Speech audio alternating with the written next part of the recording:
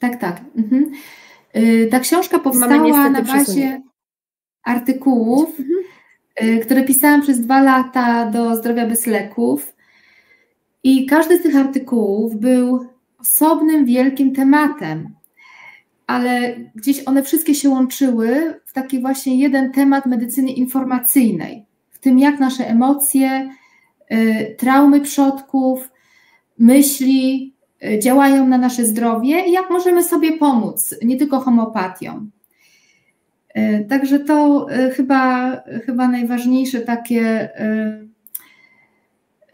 bo książka, mimo że jest, y, nie, nie jest objętościowo gruba, ale jest bardzo esencjonalna i, i tam jest naprawdę ogrom tematów. Jest o y, homeopsychoterapii, o tłumieniu objawów, jak, co się dzieje, kiedy my stłumimy objaw sterydem czy antybiotykiem.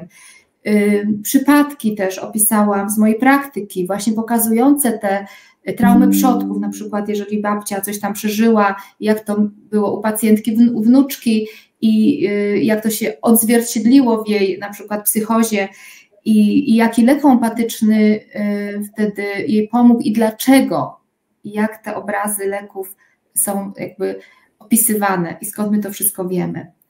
Opisałam też królestwa w homeopatii, jak odróżnić, y, kiedy pacjent potrzebuje leku roślinnego, mineralnego i zwierzęcego, że to jest zupełnie inna ekspresja, inne widzenie świata, inne gesty, inne, inne słowa, inne ubrania nawet, że to wszystko możemy nawet z daleka zobaczyć. Każdy pacjent to jest jakby, każdy człowiek jest jakby całym światem, osobnym światem, widzi ten świat i rozumie, odczuwa poprzez to, co niesiemy ze sobą tak naprawdę już od przodków.